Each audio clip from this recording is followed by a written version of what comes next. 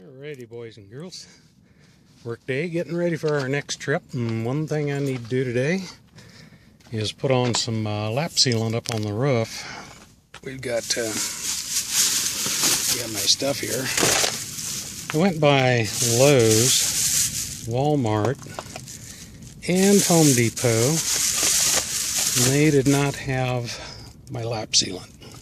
This is a self-leveling one I'll put on up there on top. Uh, so I guess I'm going to have to order it online. That'll probably be the easiest way anyway. So this is part of my trusty dusty uh, equipment. Uh, things that I carry around in one of my bags here. So I have my hose clamps that you've seen. I'll also have some wiring uh, housing there.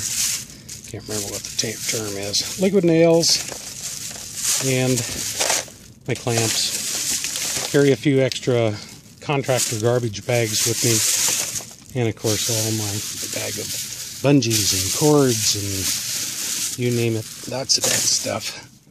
And I've been collecting new tarps. Yeah, these come, they're free at uh, Harbor Freight a lot of times. If I go in to buy something, they always have a free item coupon, so I get those.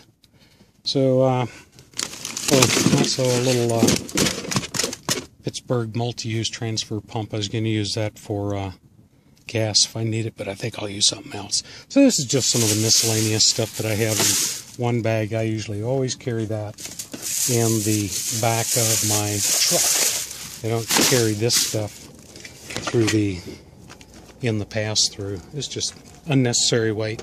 It's not that heavy, but I like to save a little more room so I can get around at what I'm doing.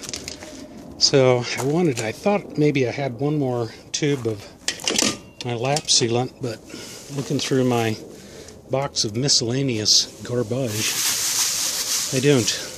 Believe me, I'm on no shortage of cordage, nylon ropes, things like that. I have lots. So, okay, I'm going to grab my knee pads, get up there. Let's do a little maintenance. All right, made it up on the roof here the uh, things I'm going to go around look for. And one thing I like about this roof is there's very few seams. Very little around here. But you can see there's a little, little pock mark right there. It was probably a screw. It just didn't quite do it well enough. So we're just going to go around and check all these seams. I say we, I mean me. Nobody else is going to be up here. So we're going to go around these. These all look very good up front. I don't see anything up here. That little corner right there, I'm going to just touch that up a little bit, put an extra Dicor on there. So all of these areas, we just want to make sure they're looking good.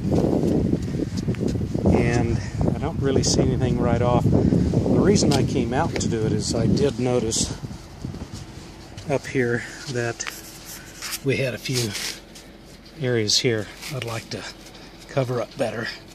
So I'm going to put a put a new strip of that along here. There's a little hole there. And then I noticed along here there was one spot where if you can see it right there there's a crack right there very little very little and I'm just going to cover this up real good right here. And uh, I like this seamless because it just goes over. And there's really no glue laid down on there. All of the solar panels nice and screwed down. And I just don't see anything else. I might put something over that. The uh, this looks really good. I need to uh, give it a wash. I'm going to put on just a regular car wash wax on it. It's been shedding great, no problems. And uh, we'll get this done very quickly. So this is some annual maintenance, maybe semi-annual. If you get a lot of sun like we do here, a lot of UV rays at high altitude, it's hard on the tops of these. UV rays does a lot of damage, but I don't see any problems. Very little uh, very little cracking at all. So this is a going to be an easy one. ready. Went around and uh, cleaned these off. Uh, all the areas that I'm gonna do. I just used isopropyl alcohol and scrubbed them real well. Although I don't think this lap sealant will have any problem sticking on here. So it's really sticky stuff.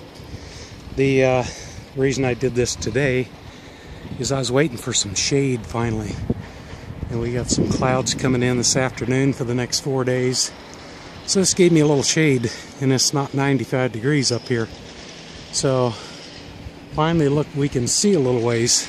There's been so much smoke out here here in the Denver area and the metro. So that is gonna take care of this real quick, get her done. All right, get it all done. The uh, anywhere I thought there might even be anything, I just touched up a little bit. So uh, you can see it's already starting to smooth out. When I put it on, it's a little bit lumpy, or a little peaky like a, uh, a good old dessert. What do you call that stuff? The white froth. Anyway, uh, you know what I mean. So go ahead and put on plenty. Don't be shy with this stuff. And uh, it'll level out. You'll seal this whole area. So I went in there and just put that stuff all over. They should be good for a while. The uh, Eternabond tape, this stuff's incredible. We tried to, we had to peel some of this up for something. Can't remember what we did. Holy mackerel. You talk about a mess. That stuff is tough. I'd like to put a whole, cover the whole thing in that stuff. But it'd be very heavy. All right, hope that helped out a little, guys. Just simple maintenance, you got to do it. Just get up there and check every now and then. It's not worth a leak. All righty, thanks for watching.